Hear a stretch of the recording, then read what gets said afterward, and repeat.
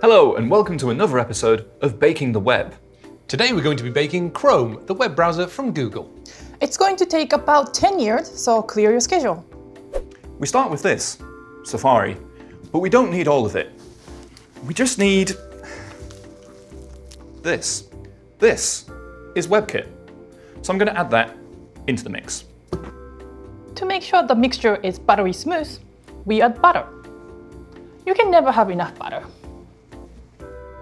Now we need to mix all of this together. You can use any mix blend mode you like, as long as it's powered by a V8 engine.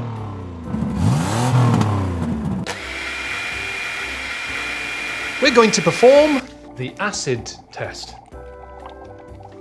And it's fine. This has been in preparation for a few years now, so naturally, it's picked up a few bugs.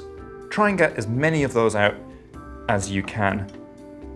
And at this point, we're going to add a dart. Ooh, no, no, no, no. Uh, let's save this for another dish. Now it's time to get the WebKit out of this mixture.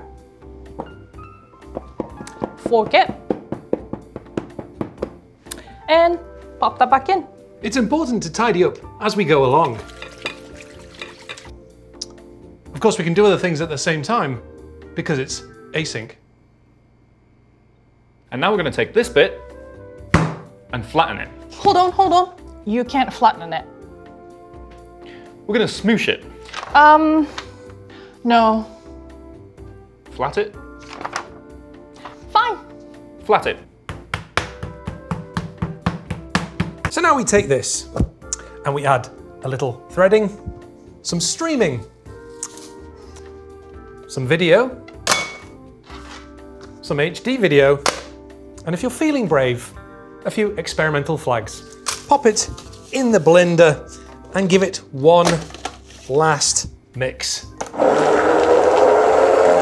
Now, put this on the tray.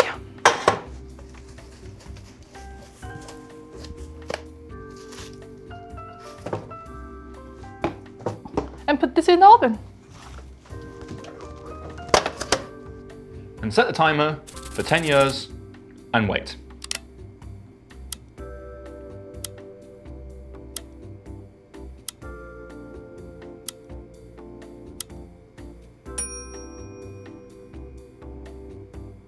Ah, the cake.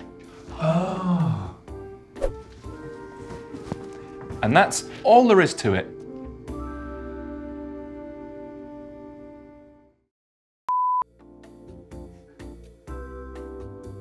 Composing myself.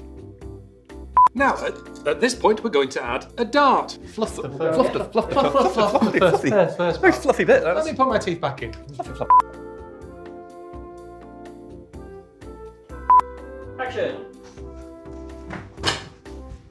Sorry, I kicked that. And flatten it. hold on, hold on. You can't flatten it. Um, c- c- can we, can we go again?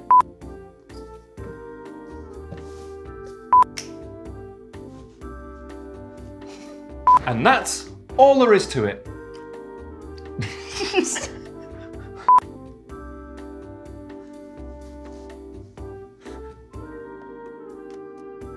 Why are we still filming?